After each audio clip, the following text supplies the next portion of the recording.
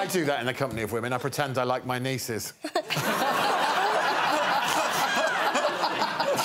we've got such a sweet relationship with him, haven't I? Janet Street Porter genuinely accused me of that once. Really? Right. um, she is on Loose Women. Pretending to like my nieces to impress women. Were you on Loose Women? I was, yeah. And let me tell you, I did not enjoy it.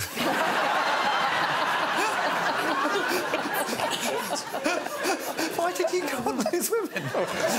they invited me. Oh. Yeah. I thought, yeah, I'll go on that. Oh, no. no, I'm not enjoying this at all. Wow. Then Who's Street? Porter was all over me. not, not all over me.